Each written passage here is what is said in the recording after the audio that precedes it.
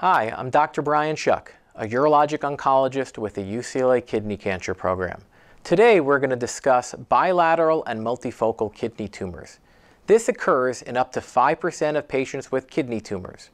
This is a very complex, challenging situation, and many patients and their physicians are unclear how to proceed with care.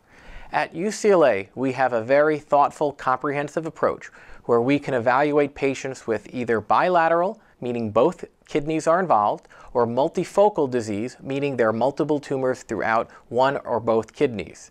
At UCLA, our treatment approach may involve things such as biopsy, it may involve open or robotic surgery, or even genetic testing to understand hereditary predisposition. At UCLA, we've removed up to 73 kidney tumors from a single kidney.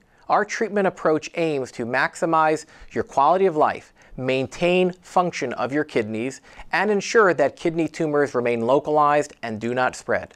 So if you have bilateral or multifocal kidney tumors or feel you're at risk and need a comprehensive approach to management, please visit us at the UCLA Comprehensive Kidney Cancer Program. Thank you very much.